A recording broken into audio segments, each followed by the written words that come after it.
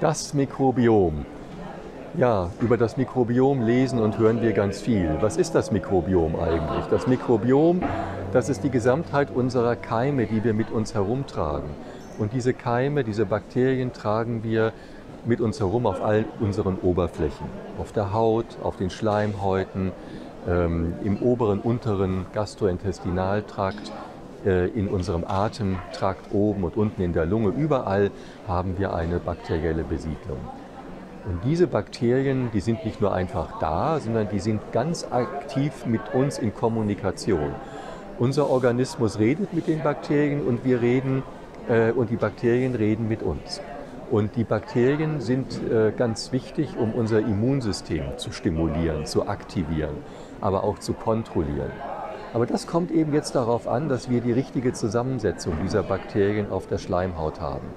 Und wenn wir die richtige Zusammensetzung haben, die wir dann entwickeln, ab der Geburt, über die ersten Lebensjahre hinweg, wenn das alles gut läuft in Bezug auf die natürliche, gesunde Entwicklung des Mikrobioms, dann haben wir Bakterien auf unseren Schleimhäuten, die uns trainieren, die unser Immunsystem trainieren und helfen, dass wir geschützt sind vor chronischen Erkrankungen, vor chronischen Immunerkrankungen wie Allergien, wie Autoimmunerkrankungen, aber auch vor Erkrankungen wie zum Beispiel auch Krebs. Auch da spielt das Mikrobiom eine wichtige Rolle.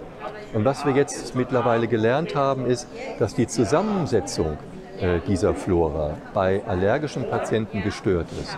Und diese Störung trägt dazu bei, dass sich die allergische Entzündung entwickeln kann. Es gibt also hier eine echte Ursachen-Wirkungsverknüpfung zwischen der Fehlbesiedlung und der Entwicklung der Erkrankung. Und das muss man jetzt näher verstehen und untersuchen, um daraus Schlussfolgerungen zu ziehen und Konsequenzen zu ziehen für die Anwendung. Also können wir dann das Wissen nachher nutzen, um uns zum Beispiel vor Erkrankungen zu schützen oder gar solche Erkrankungen zu behandeln. Das prominenteste Beispiel dafür sind die sogenannten Probiotika, also lebende Keime, die unsere Gesundheitsentwicklung fördern. Solche Probiotika gibt es mittlerweile, solche Keime gibt es mittlerweile. Man kann sie gar im Supermarkt kaufen. Aber wir müssen sagen, die Wirkung ist bisher begrenzt. Das ist gut, was wir da machen, aber es ist noch nicht sozusagen der optimale Effekt.